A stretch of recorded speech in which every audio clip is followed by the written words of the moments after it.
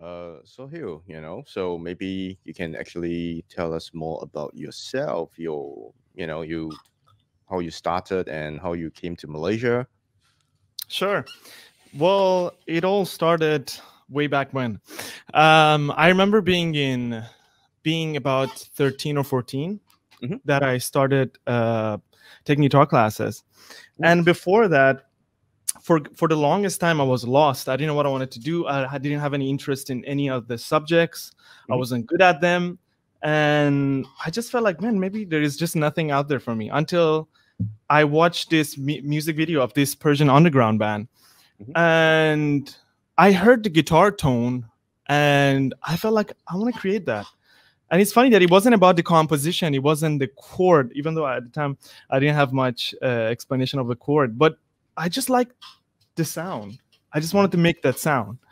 So Awesome. it's sort of how it started. So I was like, okay, I'm going to take guitar classes, I guess. And then something that was supposed to be just a hobby Mm. turned out to be exactly what I want to do. So um, took that over. My parents didn't want me to go to art school, um, but then they ended up being like, okay, this dude really stinks at everything else. So maybe we should give this a chance. And then they've been extremely supportive ever since. I came to Malaysia at about age of 17. Mhm. I met Billy, shout out from Billy Blue and Nowhere Man, Yeah. and we put the band together. So yeah, pretty cool. Our That's a- style could be described as maybe vintage psychedelic blues rock, but we're always evolving, which is a human thing, I guess. Hmm. Where were you originated, uh, Soheil? I'm from Iran, Tehran. I was Oh. born there, raised there until I was 17, Right. and then I moved here.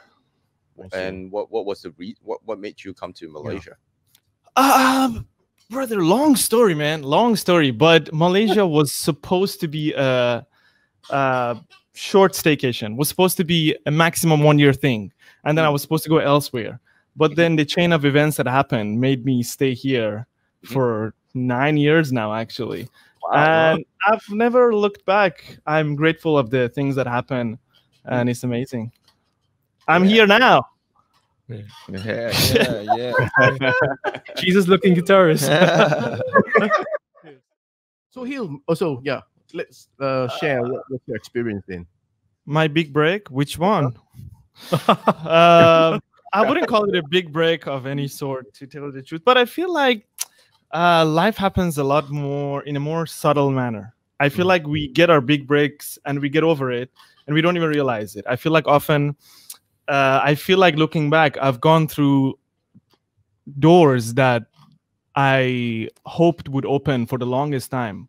But then when you pass through it, you actually don't realize it and then you look back and you're like man i've done nothing or nothing is happening but it's actually so much it's just you you don't realize it but me as well as eric i feel like uh, Blackstar was definitely one of the biggest things Yeah. that happened to me Cheers, and it's something that really actually meant a lot to me because i feel like a lot of us artists go through um, self-doubt if that's the right word i don't know and having having this makes you feel like maybe we're doing something right Yeah, yeah, somewhere Yeah. yeah. yeah True. Okay, that's nice, Soheil.